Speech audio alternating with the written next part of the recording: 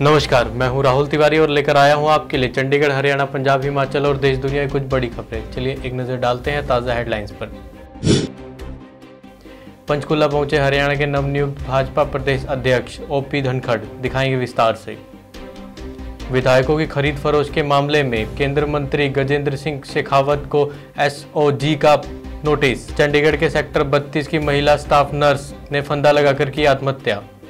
पंजाब शिक्षा बोर्ड की बारहवीं की कक्षा का परिणाम आज हो सकता है घोषित। हरियाणा करेगा कल।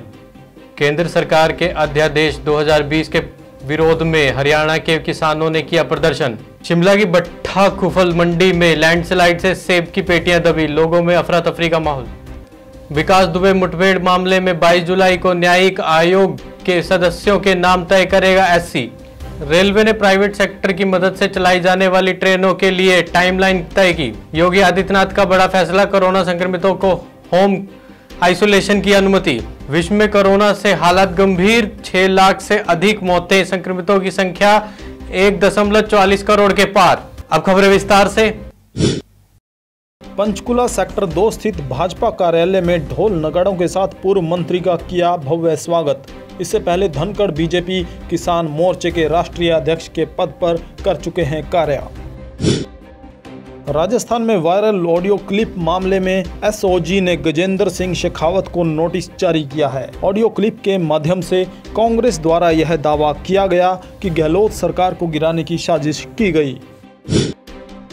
चंडीगढ़ की रहने वाली 26 वर्षीय शादीशुदा स्टाफ नर्स ने संदिग्ध हालात में घर में फंदा लगाकर अपनी जान दे दी, जिसकी सूचना तुरंत पुलिस को दी गई। मौके पर पहुँच पुलिस ने शव को 32 अस्पताल में पहुँचाया, जहाँ डॉक्टर ने उसे मृत घोषित कर दिया। पंजाब शिक्षा बोर्ड ने बारहवीं कक्षा का परिणाम घोषित कर दिया है, जबकि हरियाणा बारहवीं कक्षा का परिणाम 21 जुलाई को घोषित करेगा। बोर्ड अध्यक्ष डॉक्टर जगबीर सिंह ने जानकारी दी। केंद्र सरकार की तरफ़ से किसानों के लिए लाए गए अध्यादेश। 2020 का हरियाणा के किसानों ने आज ट्रैक्टर पर काले झंडे लगाकर विरोध किया। हरियाणा के कई जिलों में किसान ट्रैक्टर लेकर एकजुट हुए। वहीं तस्वीरें दिखा रहे हैं जिला कुरुक्षेत्रा की, जहाँ बबैन, अनाज मंडी व शाहबाद मारकंडा में किसानों ने अध्यादेश का विरोध किया। इस प्रदर्शन में किसान यूनियन के प्रदेशाध्यक्ष गुरनाम सिंह चड़ूनी शामिल रहे। बहुत सफल प्रदर्शन है, पूरे पंजाब में बहुत सफल प्रदर्शन है। और ये राजस्थान और उत्तर प्रदेश तक फैल चुका है, वहाँ से भी अच्छे प्रदर्शन की खबरें आ रही हैं। और ये सरकार को संकेत है कि अगर सरकार जल्दी ये अध्यादेश वापस नहीं लेती है, किसानों की बात नहीं मानती है तो ये ये जो आंदोलन है ये सरकार की कफन की कील बन सकता है। सरकार को अब क्या लगता है जिस तरह से आपने प्रदर्शन करके मांग को पहुँचाया क्या आप सरकार अब आपकी मांगों को मान लेना चाहिए? देखिए हमें लगता है कि अगर सरकार में थोड़ी सी भी नैतिकता बाकी है अगर देश में लोकतंत्र है तो सरकार को मान जाना चाहिए। और अगर देश अगर सरकार देश को बेचने पर तुली हुई है देश को कंपनियों के हवाले करने पर तुली हुई है फिर इसका रिज़ल्ट जो है वो गंभीर रूप धारण करेगा और जो अगला आंदोलन होगा वो बड़ा कड़ा आंदोलन होगा जो सरकार को आप इसी बारे में बात रेलवे ने प्राइवेट सेक्टर की मदद से चलाई जाने वाली ट्रेनों के लिए टाइमलाइन तय कर दी है। इसके मुताबिक 2023 में प्राइवेट ट्रेनों का पहला सेट आएगा। इसमें 12 ट्रेनें होंगी। रेलवे के मुताबिक सभी एक सौ इक्यावन ट्रेनों को दो हज़ार सताईस तक पेश कर दिया जाएगा।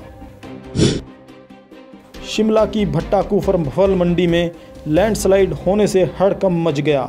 जानकारी के अनुसार पहाड़ी से अचानक फल मंडी की छत पर पत्थर गिरने लगे, जिससे वहाँ मौजूद लोगों में अफरा तफरी मच गई।